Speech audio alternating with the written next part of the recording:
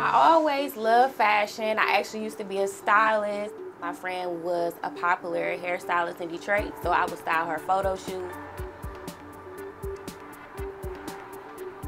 I really was tired of my job. One day I just decided to step out on faith and open up my business. That had been a thought and a dream for at least maybe five years before I actually did it.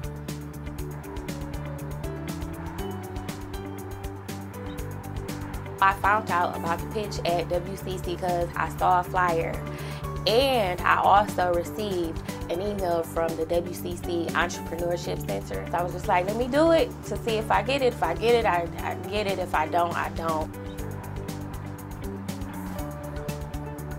My first workshop was very intimidating. Listening to all of the other people who were involved, when I listened to what they were trying to pitch, I didn't think that I had a chance.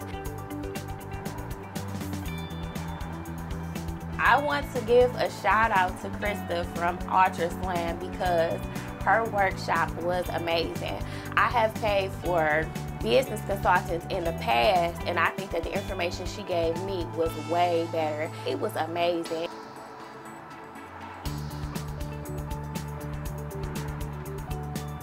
Al Newman. He was a great mentor in this process. He was able to help me out and tell me what I needed to work on, what I needed to research, and how I could make my business as a whole just better. I'm happy that WCC was able to provide us with um, a mentor like him who's successful, who can tell you how to be successful in whatever it is that you're doing.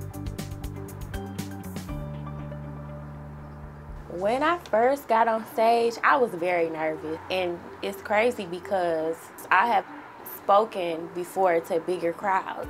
But when you're trying to win money and you're going against people who have, well, who you think have more important causes than you, it's very intimidating. But once I got up there and I took a couple breaths and I looked around the room, I, I felt a little comfortable. So I kept looking down at my outline to make sure that I was staying on point. I wanted to make sure that my thoughts were very clear. I got into it a little bit and I was okay. I was cool.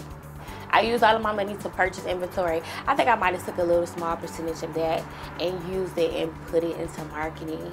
Um, but everything went to inventory. So I'm located downtown Ypsilanti, right across the street from the library, down the street from Puffer Reds. Y'all can come see me. My advice to anybody who wants to enter the pitch at WCC contest is to just do it. If you win, you win. If you don't, you still come out winning because you come out with knowledge that you did not have before. And the programs, the workshops that they have set up will help you in your business.